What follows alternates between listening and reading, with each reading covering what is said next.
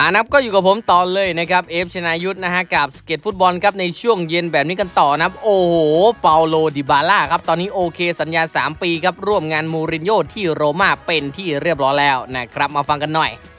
เปาโลดิบาล่าครับกองหน้าชาวอาร์เจนตินาเนี่ยตอบตกลงร่วมทัพโรม่าครับของโชเซ่มูรินโญ่เป็นที่เรียบร้อยแล้วนะครับ ข่าวนี้ครับผมเอามาจากลูกพี่ใหญ่อย่างจานลูก้าดิมาร์ซิโอนะนักข่าวคนดังชาวอิตาเลียนเนี่ยเชื่อถือได้เลยนะครับสำหรับคนนี้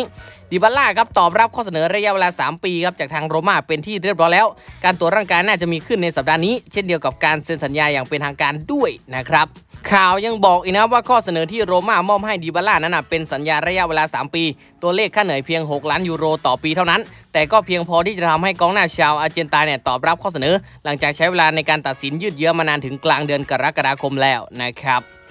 ก่อนหน้านี้ครับอินเตอร์มิลานงูใหญ่เนี่ยคือทีมเต็งที่จะคว้าตัวดิบาล่าครับหลังจากหมดสัญญากับยูเวนตุสเมื่อวันที่ 30 มิถุนายนที่ผ่านมา แต่การเจรจาล้มเหลวครับเหลือเพียงแค่โรม่าที่ต้องแข่งขันแย่งชิงตัวกับนาโปลีนะครับ